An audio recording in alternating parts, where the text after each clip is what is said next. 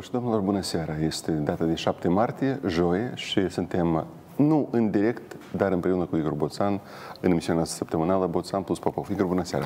Bună seara! Bună seara, stimați telespectatori! De fapt, trebuie să fac o precizare. În mod excepțional, este a doua emisiune din experiența celor 60 de emisiuni, pe care, din motive obiective, o înregistrăm cu câteva ore înainte. Deci astăzi este după masă zilei de 7 martie, dar adineauri s-a terminat briefingul șefului Partidului Democrat Vlad Plahotniuc și noi imediat după asta am trecut pe la biroul lui Igor și împreună în mașină am mers până la TV8, am discutat, am structurat conceptul emisiunii și am convenit, Igor, uh, cum să împărțim acele trei părți.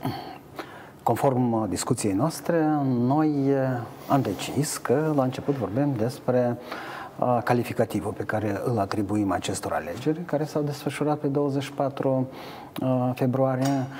A doua parte a emisiunii o dedicăm scenariilor. Nu, nu, nu. A doua parte, hai să vorbim să rezult, semnificației rezultatului. Ok. Și în partea a treia, scenariu. Scenariu, dar... Scenariile. Eu, scenariu, dar eu cred că tre- nu putem trece cu vederea uh, intervenția domnului Vlad Plahatniuc de astăzi, pentru că ea este foarte interesantă din punct de vedere a dreptului Bine. constituțional. Eu mai fac încă o precizare, dragi prieteni. Majoritatea de noi știm, știu că suntem parteneri egali, cu drepturi egale în această emisiune, doar cu o singură diferență, deoarece Igor refuză în continuare să o găzduiască. O, introducerea și încheierea o fac eu și comunicarea cu regie prin această cască, de asemenea o fac eu. O precizare trebuie să facem.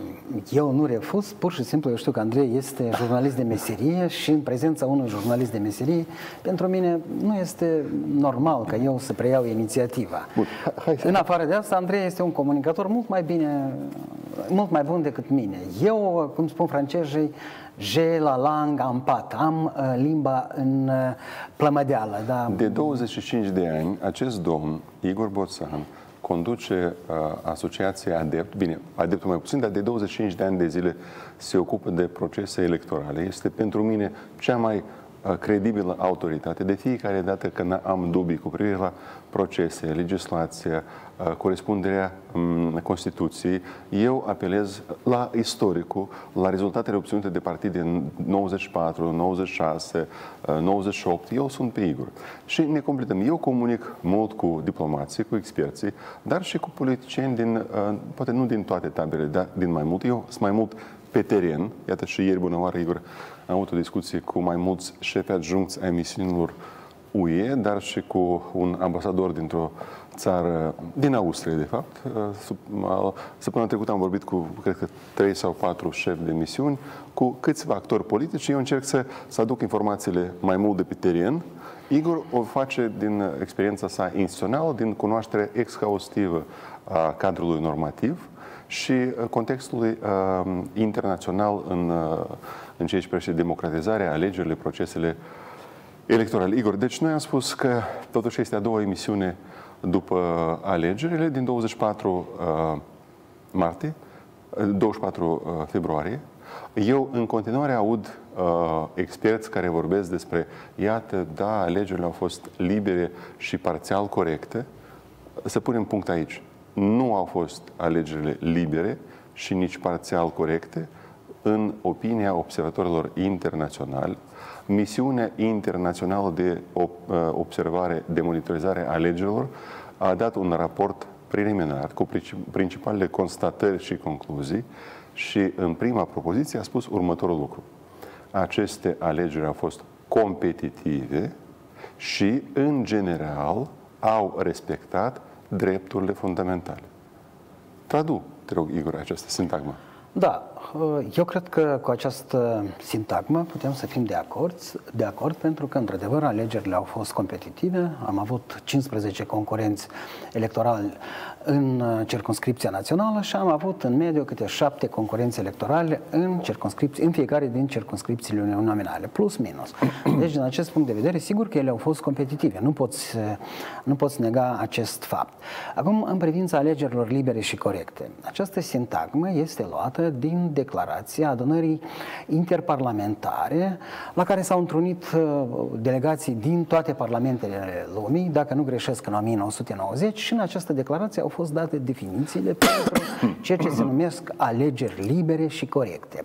A doua oară, La al doilea scrutin, uh, OSCE mm, evită să dea uh, aprecieri a procesului electoral uh-huh. din Republica Moldova cu formula libere și corecte sau parțial, sau parțial uh-huh. corecte. Acest lucru trebuie să ne îngrijoreze, dar, așa cum a spus șeful misiunii, uh, cel care a condus misiunea de observatori în Republica Moldova, OSCE nu dă note Republicii Moldova, nu legitimi, dă legitimitate sau, din potrivă, neagă că există legitimitate pentru aceste da. alegeri.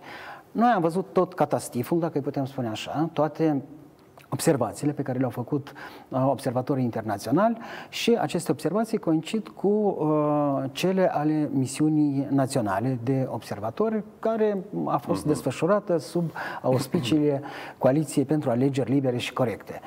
Coaliția pentru Alegeri Libere și Corecte a procedat așa. Tu ai acolo un rol? Uh, Organizația. Noi suntem uh, o organizație din 38, deci rolul nostru este mm, acela ca... Una din 38 de organizații. Da, una din 38 organizații. Dar da. colega ta, Polina Panaite, Colega mea, Paulina Panainte, este secretar al organizației, dar secretariatul este mhm. cumva disprins de organizație. Ea reprezintă întreaga coaliție. Okay. Deci 38 vorbește... de organizații da. la nivel național au monitorizat. Observațiile și constatările voastre în mare au coincis cu cele ale da, misiunii. numai că noi am dat calificativul. Ne? Am spus că aceste alegeri au fost parțial libere, pentru că dacă ne uităm la numărul de concurenți care au participat, nu poți nega că totuși a existat competiție. Uh-huh. Deși aceste alegeri sunt parțial libere, fiindcă foarte mulți au fost timorați. Eu știu foarte mulți oameni care și-ar fi dorit de exemplu, să participe la alegeri pe, din partea unor uh, uh, partide de opoziție, dar uh, mi-au explicat în discuții private că băi, nu e timpul potrivit pentru a te lansa în astfel de competiții când tensiunile, presiunile sunt atât de mari. Plus, exact, noi venim la, și aici cred că e uh, bine să invoc exact observația ta. De ce la alegerile locale noi nu participau reprezentanții opoziției. Tu invocai în permanență acest lucru și eu îți răspundeam, pentru că oamenii sunt timorați, pentru că uh-huh. se exercită presiune. Deci, acel fenomen pe care tu l-ai observat și îl invocai în permanență, el s-a reprodus cumva la nivel național, de o manieră, hai să spunem așa, mai restrânsă, dar este un adevăr. Din acest punct de vedere, sigur că nu pot spune că aceste alegeri au fost libere. Scuz-mă, uh, uh, la capitolul competitivitate, deci eu acum am venit o metaforă. Da. Imaginați să este un ring de, de luptă, un ring, toată lumea este binevenită și lăsată să intre în acest ring, dar este unul sau doi uh, participanți din câțiva care este echipat cu mască de protecție, fără mănuși, cu o bât într-o mână și cu un cuțit în altă mână și alții vin în chiloței sportivi, uh, cu maiou, cu mănuși de, de box. Și care... sunt obligați să și, observe. Pardon. Și toată lumea este binevenită. Ringul este deschis. Da. Este competiție. Corect. Cât de inegală a fost această competiție este un alt aspect pe care nu trebuie să-l uităm și misiu, raportul cel de 17 pagini pe care l-am citit cu uh, pixul în mână, după ce m-am întâlnit de două ori uh, uh, cu șeful misiunii uh, uh, internaționale de observare, Matios Ierusi, uh, el este de câteva, sunt câteva teme recurente care se repetă, Așa care este. țin de controlul asupra, disproporționat asupra surselor uh, media, despre utilizarea resurselor administrative de către uh, unii concurenți, de către campanii de discreditare, de către acces inegal la surse media și, uh, de asemenea, la cazuri de uh, influențare și intimidare a alegătorilor. Deci, de câteva ori se repetă în acel Corect. raport aceste deci, Andrei, alegări. metafora ta este pur și simplu excelentă, minunată, pentru că mă ajută uh-huh. să, de, să argumentez de ce alegerile care nu au fost libere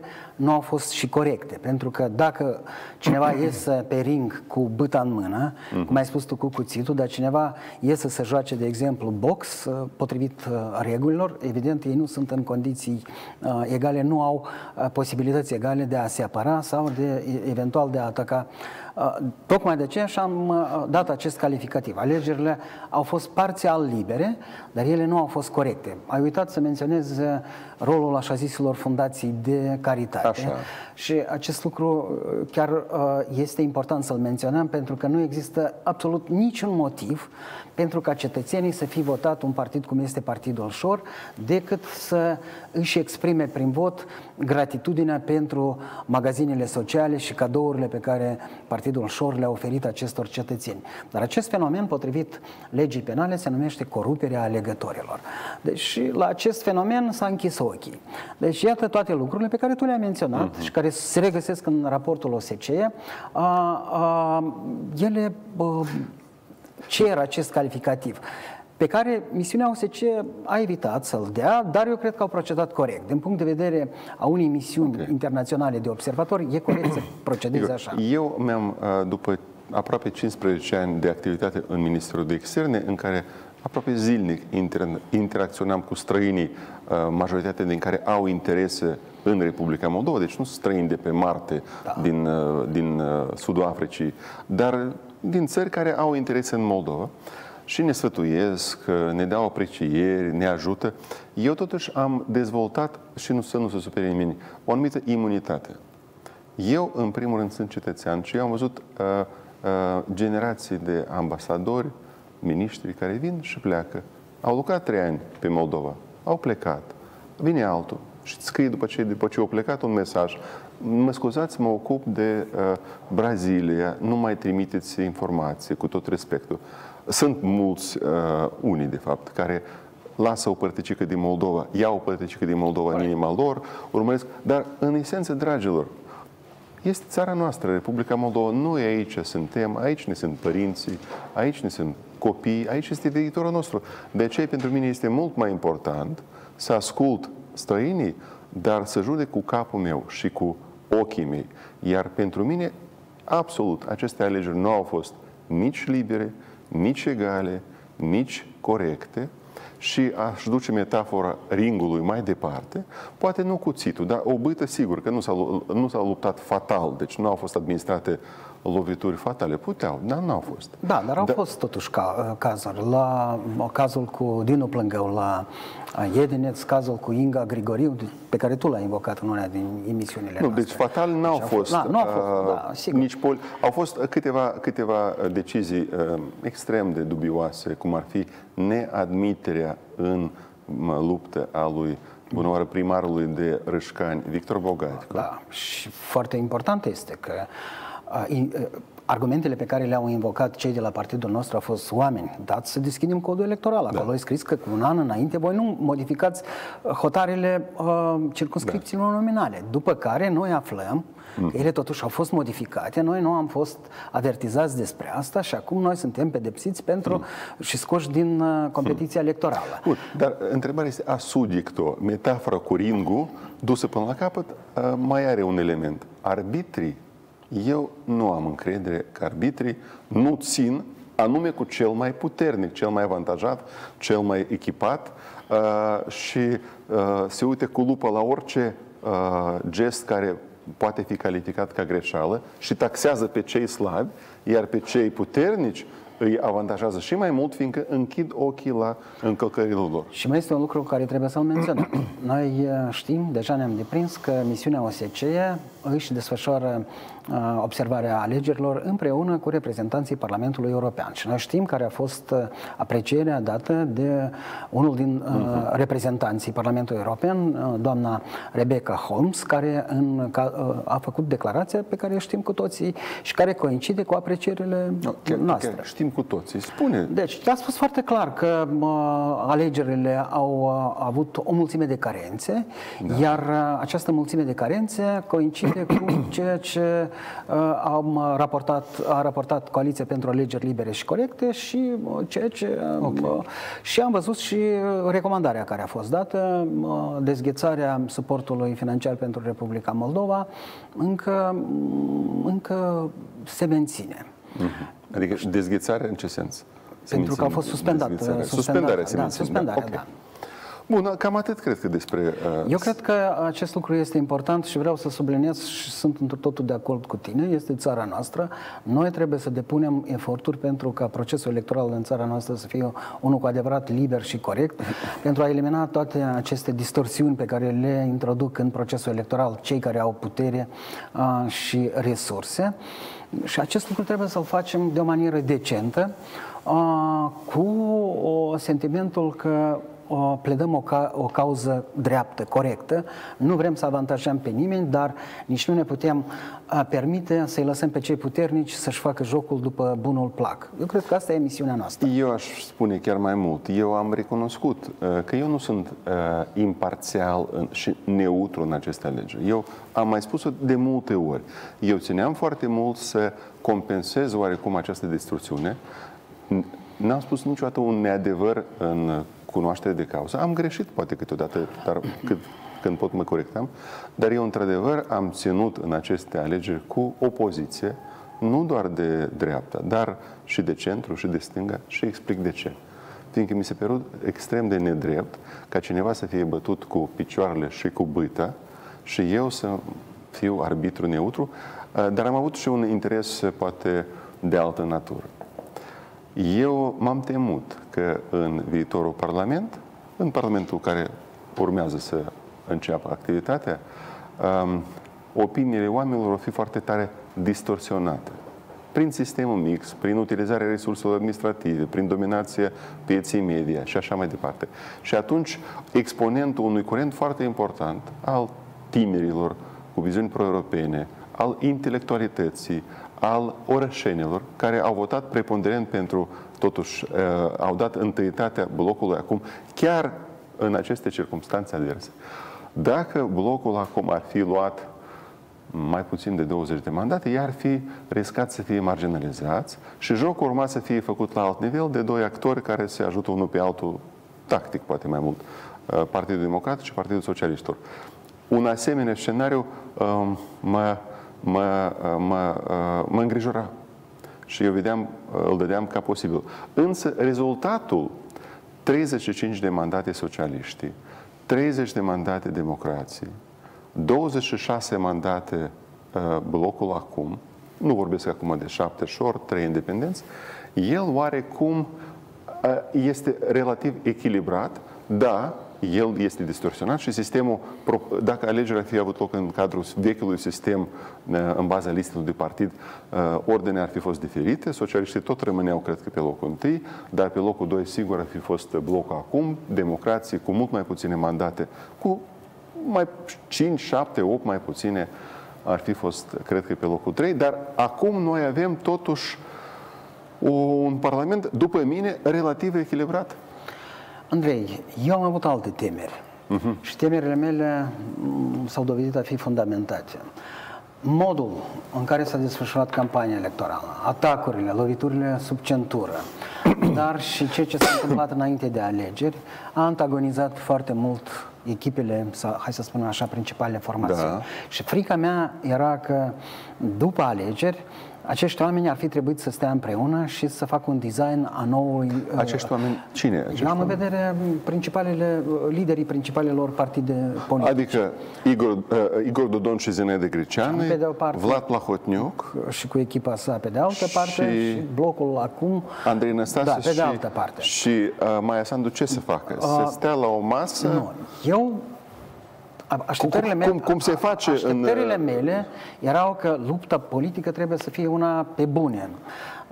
Ea trebuie, trebuia să se desfășoare având în vedere programe, viziuni, asta trebuia să fie, dar nu loviturile sub centure, pentru că antagonizarea eventualelor, da, la început, antagonizarea inamicilor politici, care după alegeri mhm. trebuie să devină parteneri eventual de guvernare, este un mhm. lucru extrem de periculos. Și noi acum suntem în perioada post-electorală, când iată vedem că trebuie să se discute despre o eventuală majoritate. Și noi vedem lucrurile, efectele atacurilor sub centură, din perioada electorală și dinaintea perioadei mm. electorale, care au lăsat amprente puternice asupra comportamentului eventualelor parteneri sau oponenți.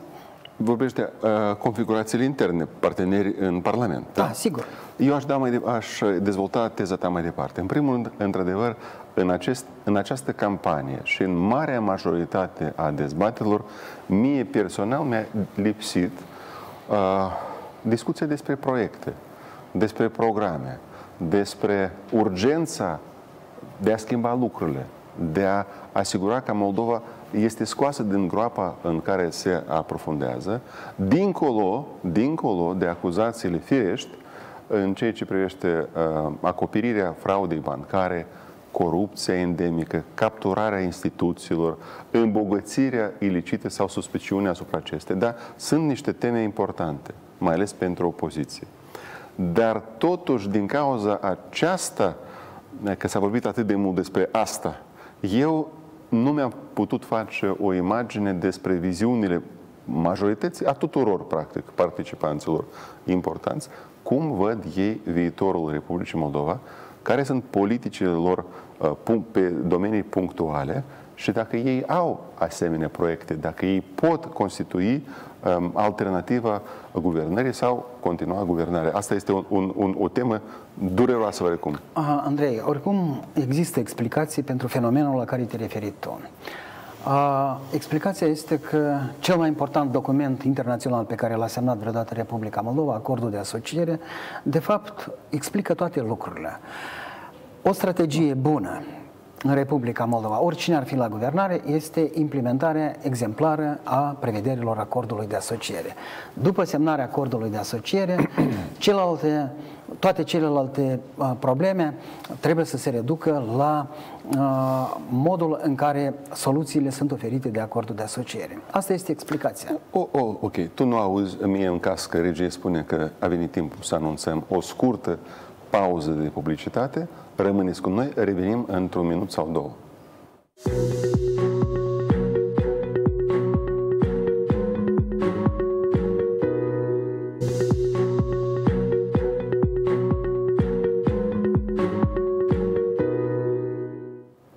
Iată că am revenit în partea a doua a emisiunii noastre săptămânale împreună cu expertul Igor Boțan, președintele Asociației pentru Democrație Participativă. În prima parte am discutat, am dat aprecierea campanii electorale, um, modului cum uh, putem uh, uh, evalua, califica, da. califica, da. Haideți acum să tragem o, o linie, da? Și să ne uităm la rezultate. Ce ne spun aceste rezultate? Pardon, Igor, când spuneai de uh, antagonizarea echipelor ca rezultat al luptei acerbe și loviturilor sub centură, dar și acuzațiilor reciproce. Eu nu, nu, pot, nu, nu pot uita acuzația cu atentat la viață. Este cea mai dură acuzație care poate fi adusă în politică și în genere. Deci asta este acuzație de atentat la omucidere. Pe mine, cei doi lideri ai opoziției, Andrei Năstase și Maia Sandu, au venit cu analize medicale și cu, cred că 4-5 zile înainte de alegere au făcut această conferință. E grav.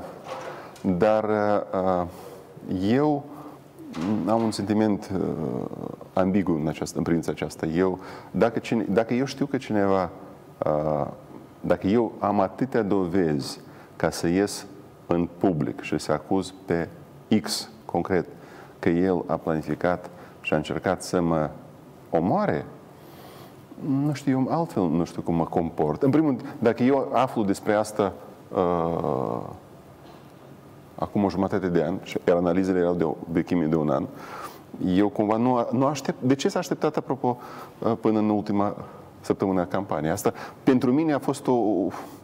Nu a, nu, a fost în disonanță cu ce aștept eu de la policieni. Andrei, eu nu pot să răspund la întrebarea ta. Uh, eu nu am discutat cu uh, liderii blocului acum mm-hmm. această problemă.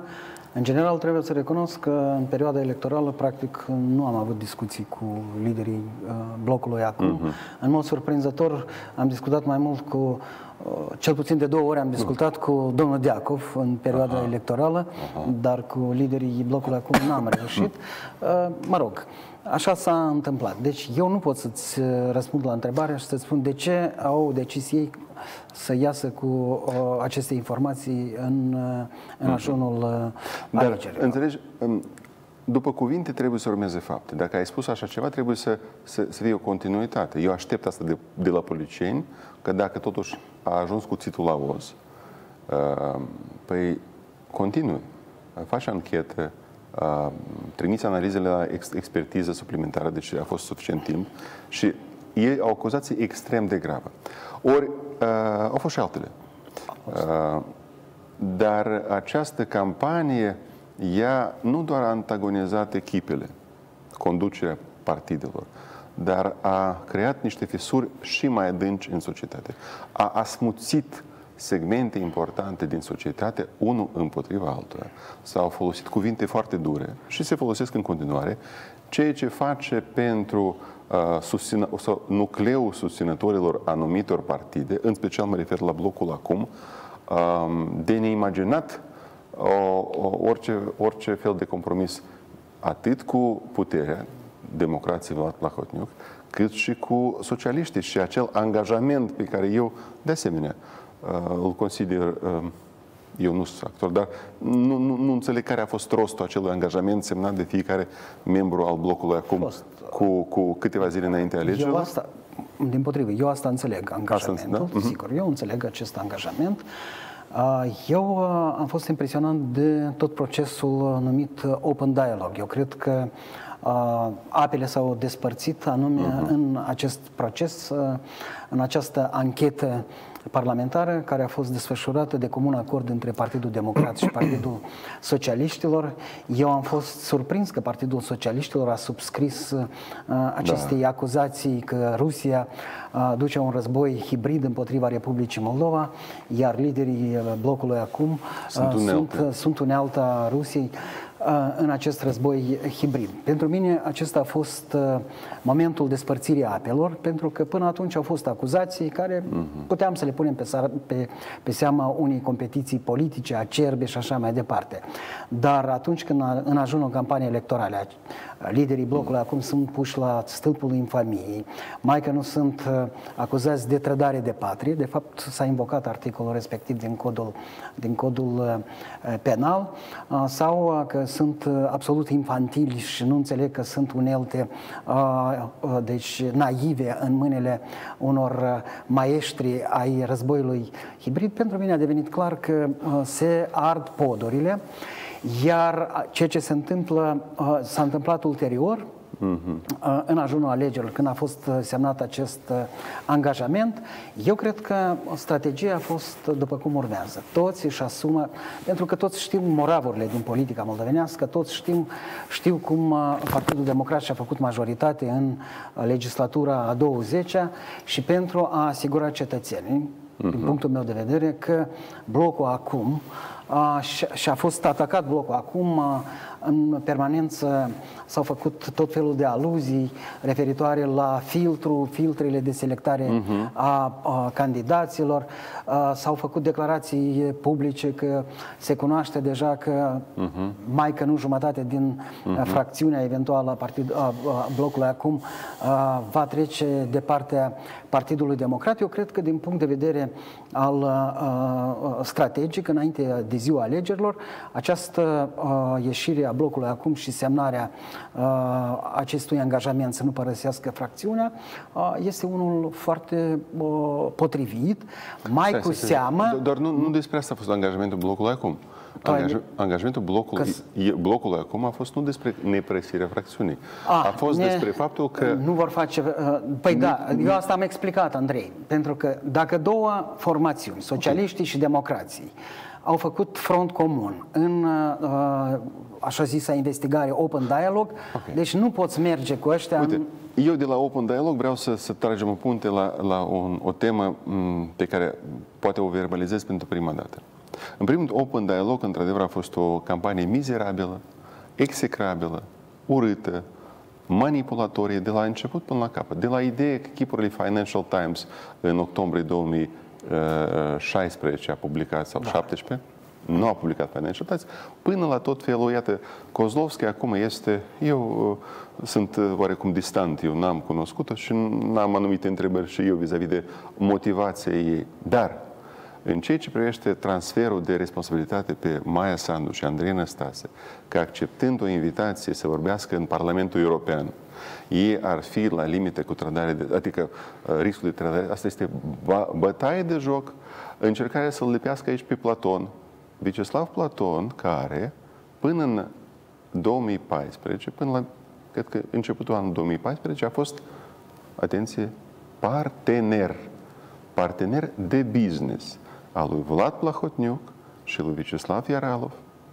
Repet, Vyacheslav Platon, cel care acum raiderul numărul 1, agent FSB, la care avocația, ca propunau acces, acces timp de o lună de zile, el a fost partener, el a făcut afaceri, a vândut, a cumpărat acțiuni, a stat la masă, a discutat la Kiev. Noi am văzut, uh, bine, uh, interceptarea respectivă sau înregistrarea pe care cred că chiar Platon a făcut cu vicepreședintele Partidului Democrat, Sergei Eralov, de cât înțeleg, la un restaurant în Kiev, de cât înțeleg, în luna decembrie 2014, în contextul um, dosarului pe care uh, Victor și Viorel Țopăl aveau împotriva lui Vlad Plahotniuc în Amsterdam și în care Vyacheslav Platon inițial a fost de acord să dea mărturii.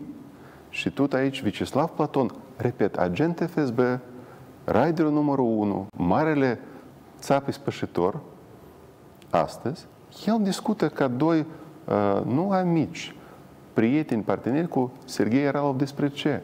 Despre cum o să acționeze judecata, când pe cine o să elibereze, că asta este Vlad, a promis. Dom'le, despre ce vorbim noi? Dar încercarea să-i le pui în cârcă lui Maia Sandu acum, pe, pe Vyacheslav Platon, este o bazaconie, este, este miroasă, știi, așa ca... Dar, dar, okay, dar spunând asta, vreau să spun și altceva.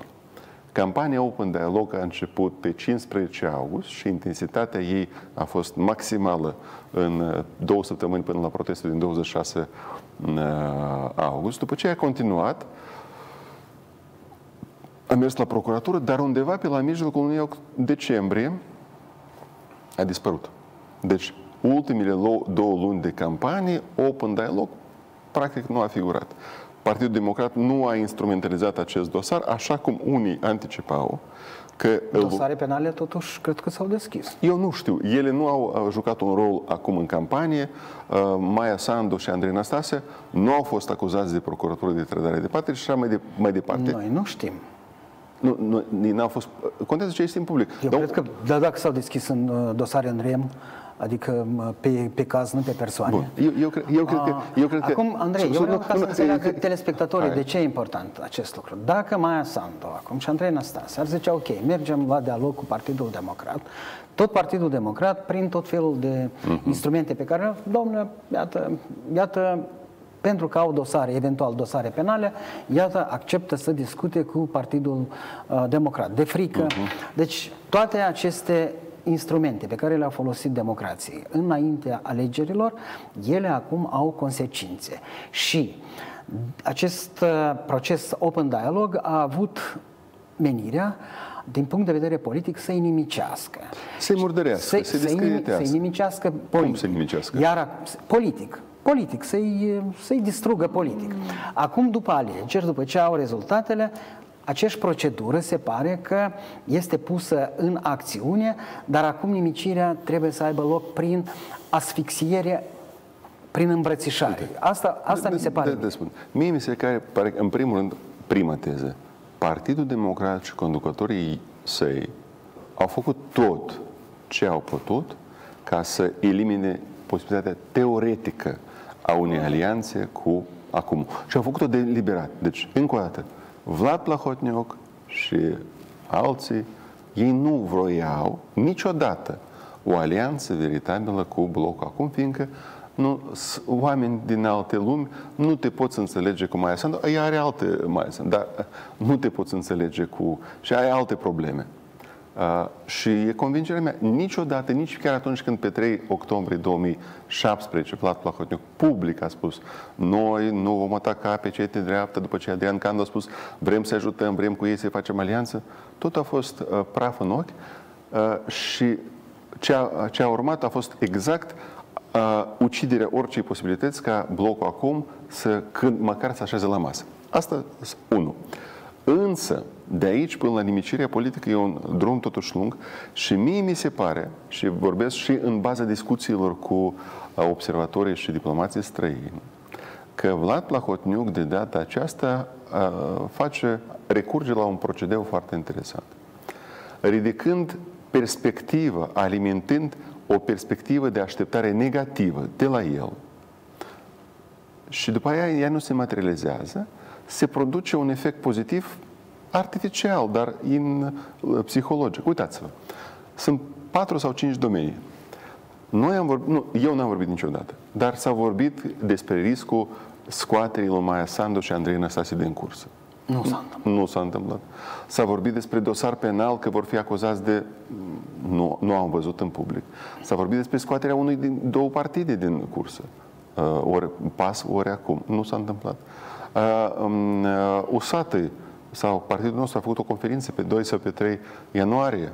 Aoleu, se pregătește scoaterea din cursă. Nu s-a scos.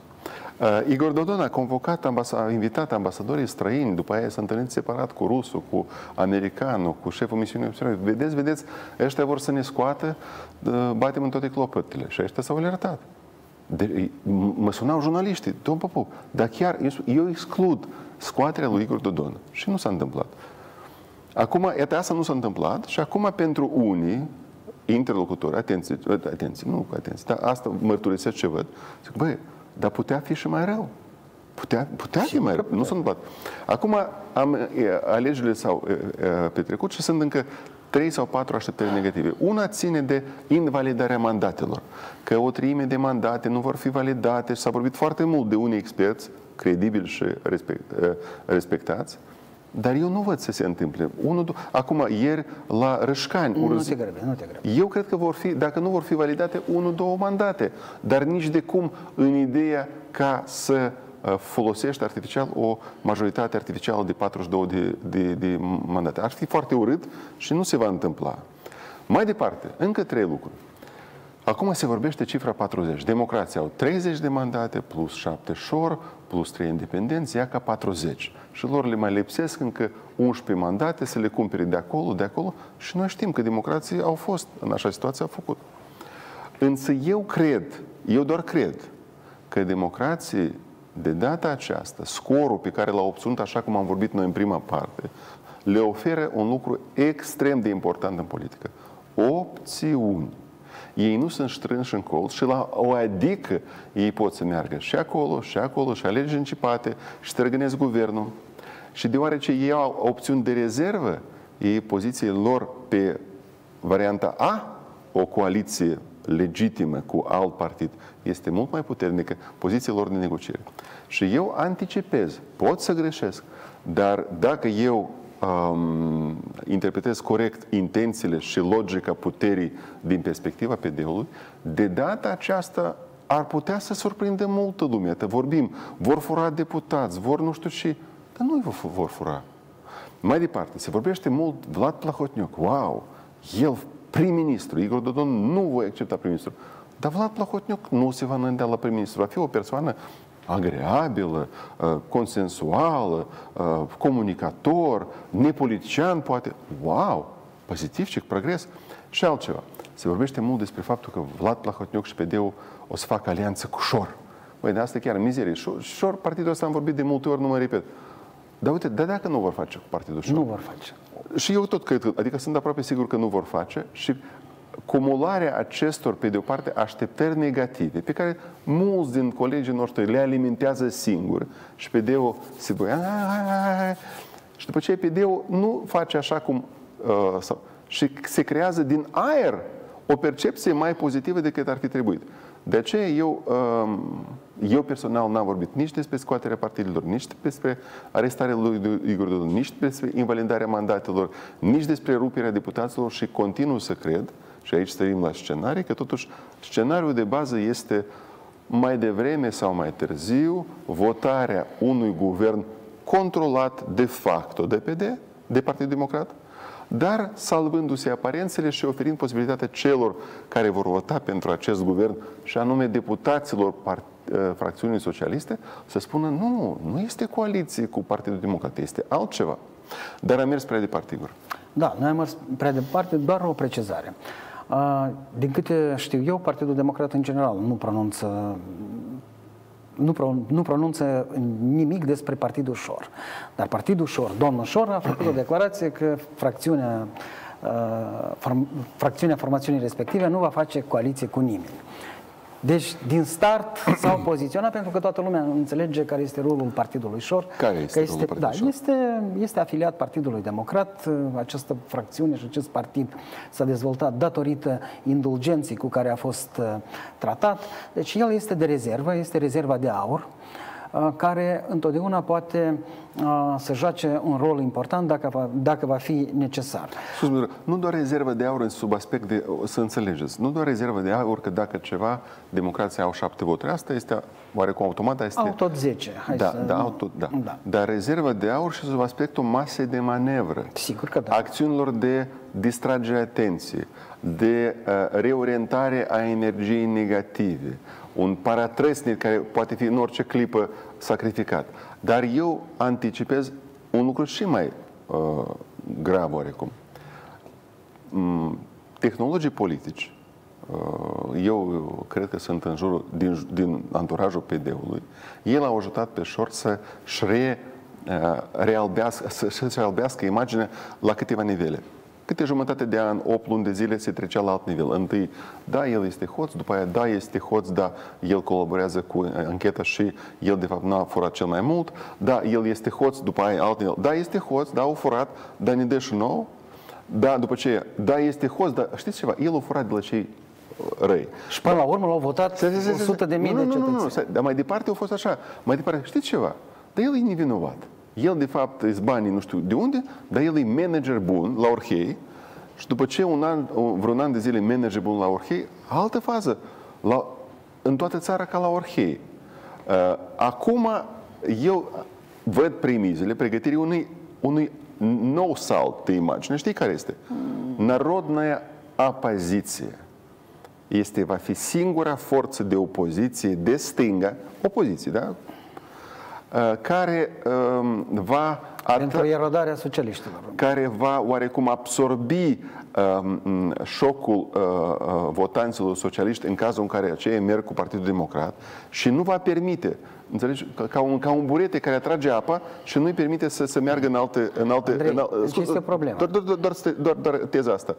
Uh, votarea de către frac anticipată de mine, votarea de către socialiști pentru guvernul controlat de PD, indiferent de ambalajul cu care se va vinde, va avea repercusiuni de imagine asupra socialiștilor, lui Igor Dodon și votanților săi.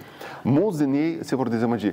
Ca să nu meargă de, de, de, cei dezamăgiți în alte zone necontrolabile, este șor ca buretele va încerca să le observă, să le, să le absorbă și ultima frază, această acțiune este foarte importantă și în perspectiva alegerilor locale, în mod special în localitățile, în centrele raionale din nordul țării, în care în 2015 a câștigat USATE, acum USATE a implodat, iar PD-ul nu este deloc interesat ca majoritatea din aceste centre raionale să treacă acum la alegeri uh, locale către socialiști apariția lui Șor acolo, cel puțin la nivelul consiliilor raionale, ar putea să deluieze ponderea socialiștilor și lui Șor se pregătește o nouă, zic eu, acțiune a, a, opoziție. Toată lumea credea că va fi cu democrație, nu a fost. De ce eu iarăși încurajez... Andrei, totuși tu te grăbești.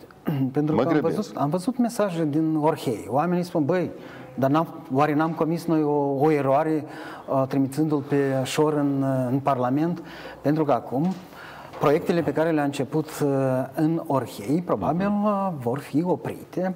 Vor apărea multe întrebări de unde domnul Șor lua bani pentru așa zisă dezvoltare din Orhei și oamenii s-ar putea să fie dezamăgiți dacă se vor trezi că administrația locală e plină de datorii, că proiectele frumoase începute de, de, de șor, iată, se opresc. Sunt lucruri care nu sunt atât de simplu de... de... Nu sunt atât de simplu, dar tu, ia, ia, mi se pare că tu te grăbești și cu anticiparea aceasta negativă că se vor opri, noi deja ne-am ars. Uh, mulți lideri de opoziție, într-adevăr, și experți vorbim, aha, PD-ul. Dar de ce PD-ul nu și-a asumat uh, răspunderea până la alegeri? Înseamnă că n-au bani. Iată că azi liderul de facto și de iurea PD-ului Vlad Plahotniuc, eu de ce am făcut o pauză? Fiindcă un uh, coleg uh, analist oarecum, fără să ne numească, ne-a uh, reproșat um, într-o postare că noi nu numim pe Vlad Plahotniuc criminal și uh, vorbim despre el ca despre politician.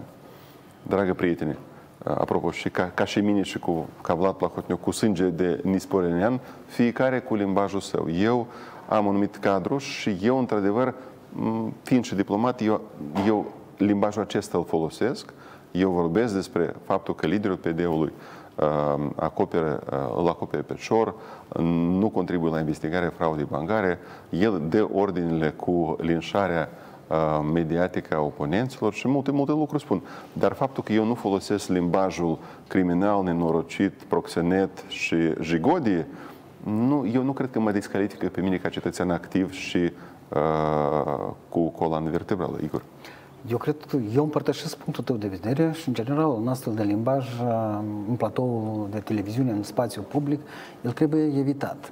Dacă noi aveam ce spune, ce îi reproșa oricărui partid, nu doar Partidului Democrat, trebuie să facem aceste reproșuri aducând argumente. În rest, dacă procedăm altfel, eu cred că ne descalificăm.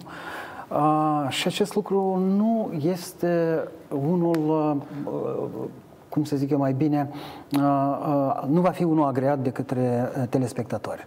Noi trebuie, în primul rând, să avem această grijă față de telespectatorii noștri. Eu am grijă de consecvența mea. Din moment ce tu spui jigodie, criminal, animal, dubitoc, e un alt registru. E, nu, e, Gata, nu, te, te nu, nu, nu. Te-ai dus din spațiu, din discuția publică, politică, analitică, te-ai dus în revoluție. Dacă poți face revoluție, jos pălărie, uh, încă ceva, tot ca răspuns. În ace- Eu i-am reproșat personal lui Andrei Năstase oarecum lipsa de, uh, de hotărâre în această vară. Lui Năstase i s-a furat alegerea chișinăuienilor. Năstase Andrei avea toate motivele și susținerea mea să încerce să recurgă, aici e nu de acord, la măsuri mai hotărâte. Să intre în primărie și să spună cu golanii golănește, așa cum spuneam mie la București, cu golanii golănește, și atunci avea toată, eu cred că, susținerea mult mai multor oameni. Momentul s-a pierdut, meetingul s-a disumflat, și potențialul de protest. Să le spun colegilor, eu îi respect foarte mult colegii la care te referi tu. Eu în 2015, când noi protestam împotriva miliardului furat, purtam în geantă o carte pe care am citit-o când eram student. Mm-hmm. Se numea uh, Человек бунтующий, Albert Camus, Omul oh. revoltat. Iată, toți care vor să fie revoluționari, eu le recomand să ia această carte. E foarte interesantă, cu statistici. Uh, iată, această carte trebuie citită pentru cei care sunt uh, revoltați, ca să înțeleagă până la urmă unde se poate ajunge. Și dacă ai resurse și determinare să fii revoluționar. Și capacitatea să aprins societatea da, exact, de partea ta. Exact.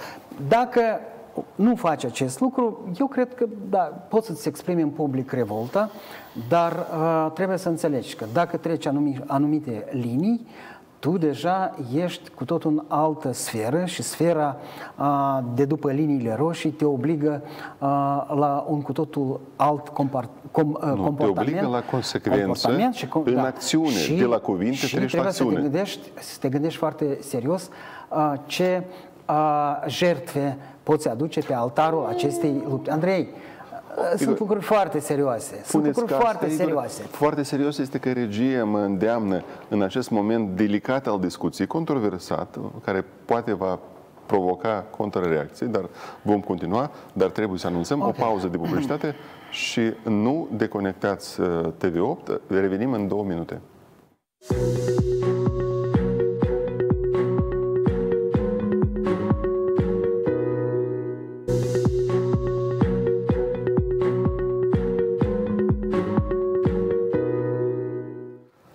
Eram în emisie și uh, reiterez că emisiunea o înregistrăm pentru a doua oară, cred că în istoria dialogului nostru cu Igor Boțan, uh, în după amiază zilei de uh, 7 martie, iată, acum este ora 2. Și uh, a venit știri acum.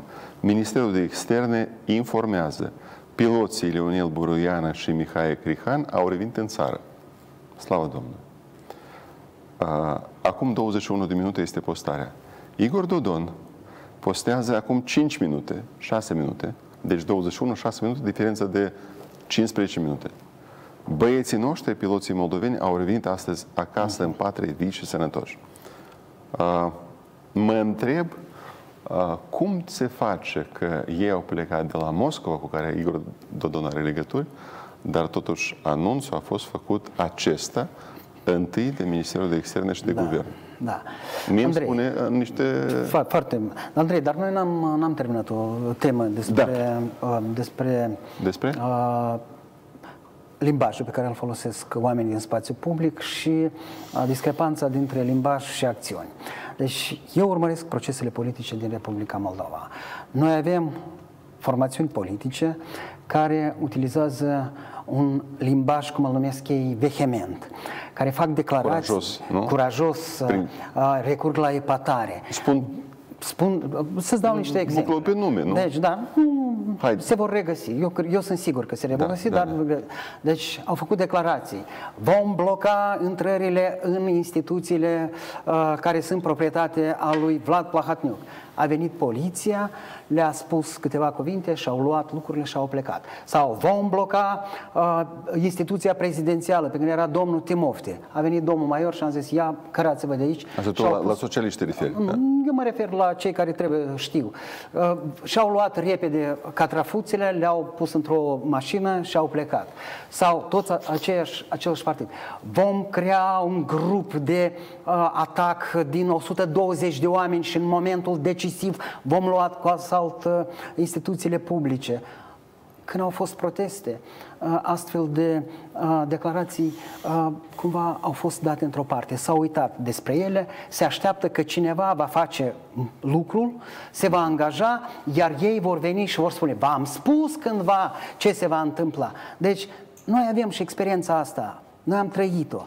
De aceea, acest limbaj la care te, te, referi, te referi tu, Chiar dacă este practicat, eu am o atitudine reticentă față de astfel de, de, de, de limbaj, ca să fie foarte Eu, clar. în primul rând, am făcut referință la o uh, postare care am fost noi vizați, fără ca să fim numiți și eu tot nu am numit pe, pe expert. Exact, eu exact așa uh, am răspuns, fără să În numesc care ni s-a reproșat că, de altfel, cu citindu-se greșit, eu n-am spus că Vlad Plahotniuc este un lider politic abil, este un Uh, sau, dar ni se reproșează că noi îl numim pe Vlad Plahotniuc lider politic, PDM, nu numim uh, ОПГ, Организованная преступная группировка, dar numim partid politic, că nu spunem criminal.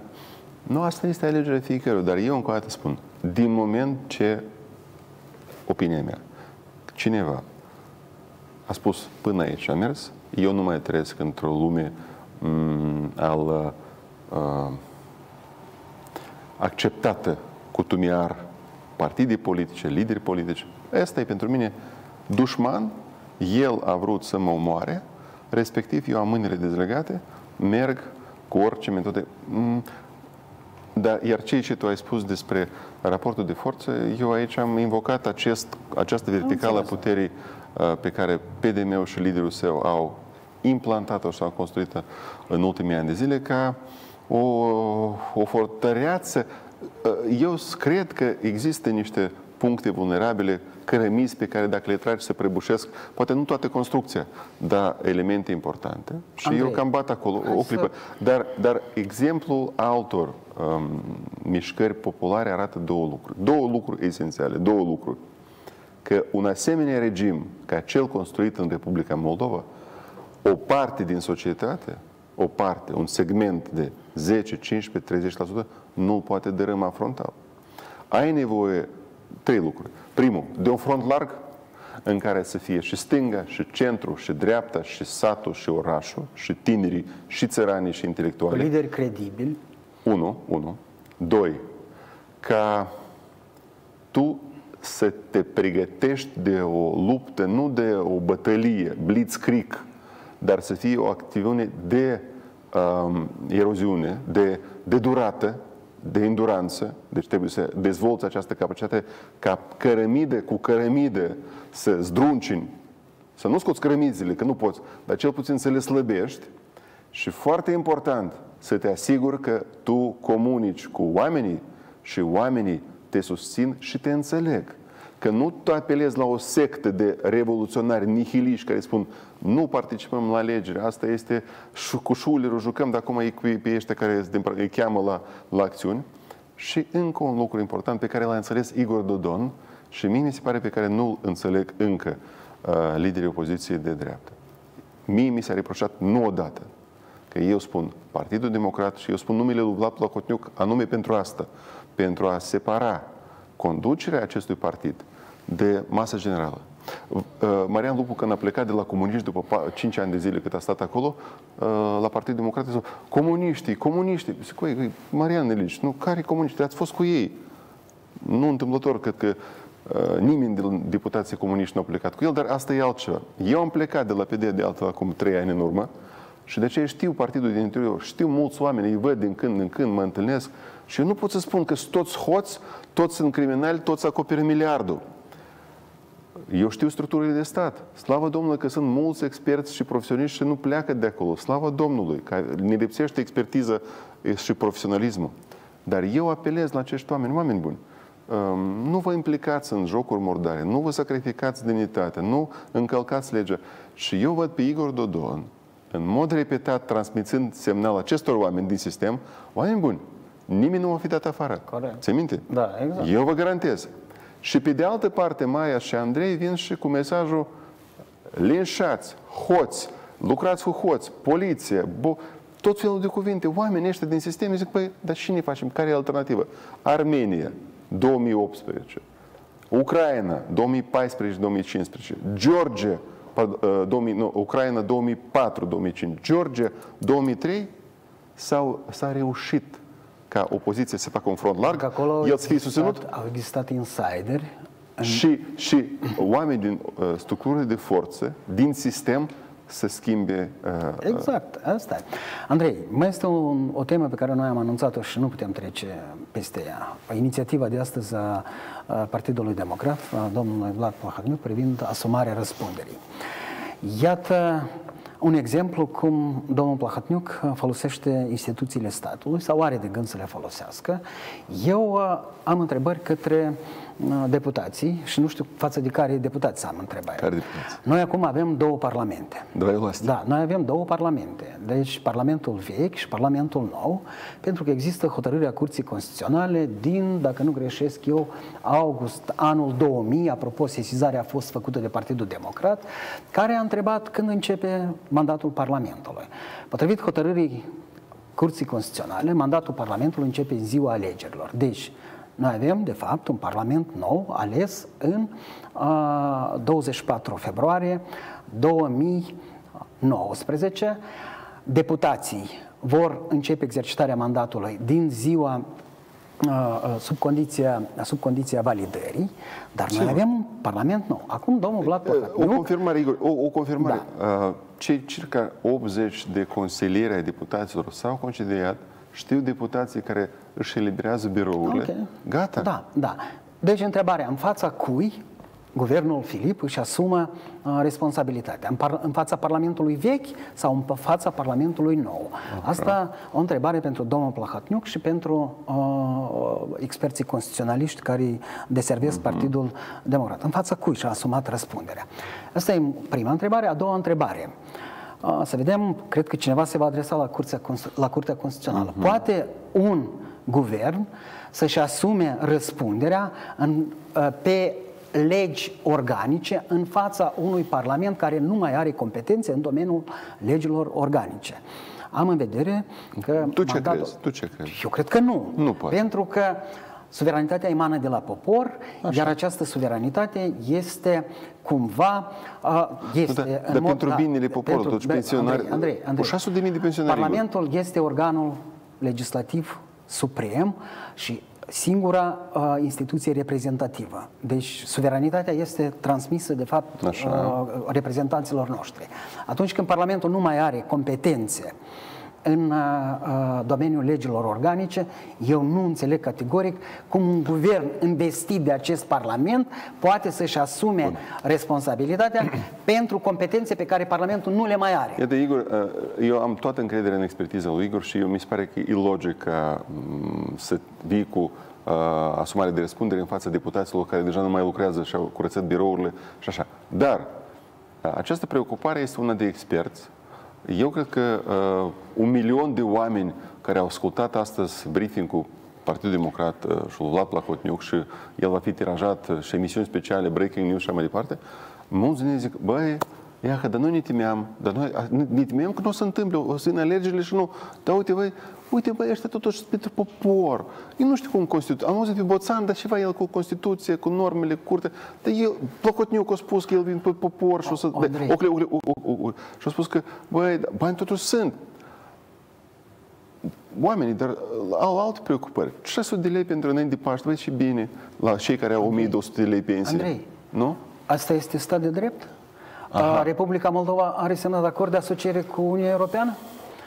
Are sau atunci, nu are? Atunci, eu, când te ascult pe tine, Igor, eu mă gândesc așa. Dacă eu sunt, deci, izuit și PDO a demonstrat capacitatea de a face combinații de asta, din start să spună că facem asta, știind că nu o să facă și pregătim terenul mediatic. Eu am dreptul să cred eu nu știu că se va întâmpla așa, dar dacă eu te ascult pe tine, cum să împac, știi, și uh, capra să fie vie și lupul sătul? Eu aș face așa, aș arăta tuturor oamenilor astăzi seara de 7 martie, că băi, iată, noi... Am vrut. Am vrut. Noi avem bani, dar noi trebuie, pur și simplu, un chițăbuș acolo, avem nevoie de Parlament, că iată, am ascultat pe Boțan și, băi, are dreptate el. Nu avem Parlament în fața căruia să sumăm Dar noi vrem. Vrem pentru oameni 600 de mii pensionari, 600 de lei pensie și încă indemnizații ca niciodată în istoria Moldovei, 15% în total. Noi vrem. Da. Sus, mă, și să apelează la Curtea Constituțională și Curtea Constituțională spune Izvinite, cum ieri au spus la Rășcani, iată, au, a, la Rășcani Urzică, președintele da. de raion, Partidul Democrat, a pierdut cu 170 de, eh, de voturi în fața unui tânăr Mărzencu, socialist. 170 de voturi președinte de raion, care are resurse administrative. Și acolo sunt 700 de voturi anulate, mm, straniu anulate, încă s-au votat pentru democrat și încă pentru cineva. Și democrații, democrații, Igor, au venit la colegii săi, la doamna Polski, la domnul Gurin, la domnul, Gurin, la domnul Rișetnic, cine mai este acolo? Aurel Băieșu, cine mai este în curte? Trei sunt democrați. Așa, trei sunt uh, foști deputați democrați, da? Da. da. Băi, fraților, și noi, papa nostru, îl știți pe Urzic, am fost la el acolo în campanie, hai să... Net. Și am văzut ieri știrile Prime, Canal 2, Canal 3, Publică. Йоко Конституционный суд отверг э, э, эту э, демерз демократов. Не разрешили. Băi, am zis, băi, dar uite, curtea asta e... Iată, eu Chiar nu, independent. eu nu am dreptul să mă gândesc că acum Curtea Constituțională spune, domn Plahotniuc, sorry, dar nu se poate. Legea e mai presus, Bosan are dreptate. Pensionarii să-și mai pună pofta în cui, că ea că liderii ăștia care scodesc, nu dau răspuns la scrisorile PD-ului, acum, mai sunt, ei de jine. Și ei, ei se aruncă țara în haos și din cauza lor nu-i pensii la pensionari, că nu avem majoritate. Și să facem? Înțelegi? Așa, tu creezi așa o presiune artificială. Eu nu știu că ar fi prea izuit. Dar eu nu exclud așa ceva. Tu excluzi? A, nu, eu cred că ai dreptate. Asta e o scuză foarte, cum să zic eu, ingenioasă.